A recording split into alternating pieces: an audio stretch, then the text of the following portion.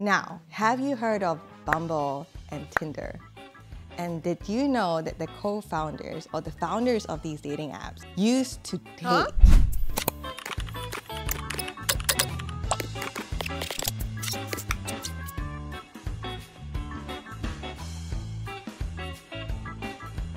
Sex in the workplace. Would that get you fired as a founder? Hi, my name is Rachel. I am a startup lawyer, and in this video, we'll be talking about something very trending. First, can you have an affair at your workplace without getting fired? And is it illegal to do so? Second, as a founder, will you get fired for having workplace affairs?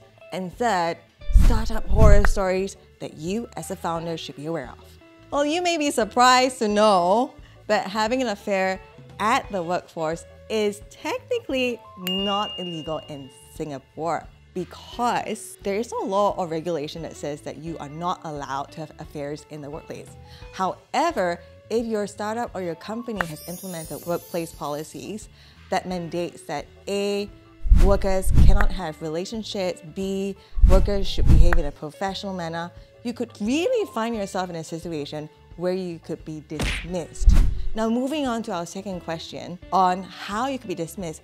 We have heard the story of old McDonald's had a farm, E-I-E-I-O, oh, getting fired. So McDonald's CEO got fired for having a consensual relationship with someone in the office. Now, one could wonder, how can you get fired for having a consensual relationship? Because we've heard of people getting fired for sexual harassment or a founder groping someone's butt. My guess is that there was a workplace policy in place that prevented employees from having relationships with other employees. He could have been found to have had multiple relationships with different co-workers, which could tarnish the reputation of the company. And in that case, if his employment contract states that, him as a CEO has to behave with certain professional standards that will uphold the name of McDonald's, McDonald's could have suffered a tarnished reputation from that. So for founders who have signed up to a service contract or an employment contract with the company, we really encourage you to look through the provisions on what could get you fired or terminated for cause. In the case of the McDonald's CEO, things were a little bit more severe because A, the company was publicly traded, and B, it was disclosed to investors that he was terminated without cause so that he could hold on to shares. When the investors found out, they sued for two things. A, the fact that it was misrepresented to investors why the CEO was fired, and B, misrepresentation that he was terminated without cause, i.e., he resigned. So, having a workplace affair or relationship could not be as simple as you think. And third, horror stories amongst founders. Now, have you heard of Bumble and Tinder? And did you know that the co-founders or the founders of these dating apps used to date? Huh? The relationships can get rather complicated when there's love mixed with equity, then a little bit of sour spice. You may or may not know that the founder of Bumble, who is a female, used to work in Tinder.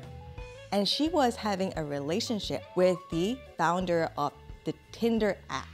Along the way, while she was working at Tinder, the relationship soured and they broke up. And according to her, they started throwing derogatory as well as horrible remarks at her, which forced her to want to leave Tinder. Now, in that situation, I as a female could get a little bit ah. annoyed because A, I may have had stocks that were meant to vest but I was forced to leave ahead of time because I'm unhappy, uncomfortable with the workplace. And then second, the co-founder of Tinder could have had allegations of sexual harassment marked against him if he was not careful. So from that situation, you would think that, hey, this is something you don't want to get into. And then she then moves out and starts her own company called Bumble, which is obviously really similar to Tinder, but with a little bit of a twist.